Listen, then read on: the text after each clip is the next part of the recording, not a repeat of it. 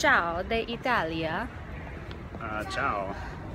We are in Messina, Italy, in Sicily. You can see all the cars and motorbikes behind us. Just walking down the street. The coast is that way. And we are on an adventure. That's- Here we are in Messina, Italy.